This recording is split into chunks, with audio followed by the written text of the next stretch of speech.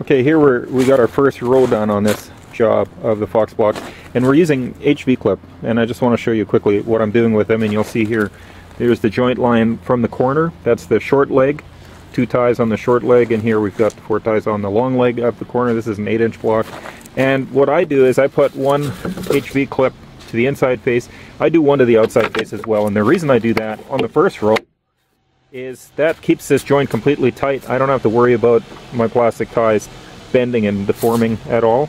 It gives me the strongest bond I can get. So I use two on the first row on every joint. If you walk along here, you'll see here's my next joint. I have two of them on there. It just holds everything. It locks it solid. You can get away with one. One is acceptable. I like to do two. Everybody's a little bit different. Okay, you'll see here we got a box of Fox clips. And uh, I see a lot of guys, they make pickup sticks out of the whole deal. The trick is, you got your long leg here on my right hand side, you got the short leg on the left hand side. Might be the other way around in your box, but in this one, what I do is I always take the short side, I lift it up, and I pull it out, and I don't have pickup sticks. See here, I'll do it again. See, no big deal. I do it again.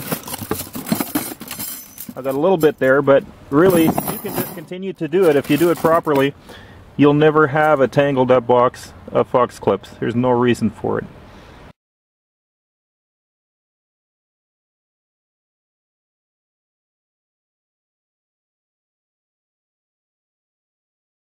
This is how you mark out you can see I have a, a cut at the bottom that's 10 inches, then I have a 16 inch piece, then I have another 10 inch piece, and it's going to go like that all the way up to the top, and there's going to be a, a common joint all the way up, and I'm just going to put straps on both sides and pour concrete. It'll work really good. Okay, we're doing uh, stack seams here, vertical stack seams. We have, uh, the interlock on the Fox block is two, two inches long, an inch wide, and with that, because it's a reversible block, that makes our offset four inches. Now we're using that to our advantage. It gives us a, an aggressive interlock so it's going to be strong during your pour and to hold things together. But what we do now is we work from the corners to a central point in the wall, preferably by a door or window, but it can be anywhere in the wall. And here we, we have an example of what we've done.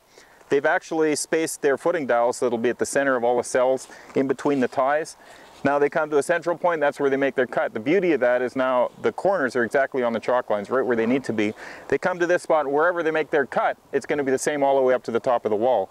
And with that, they get this common seam and then they just put a strap on, one strap per row. On this one, they put some spray foam in. A lot of guys don't even do that.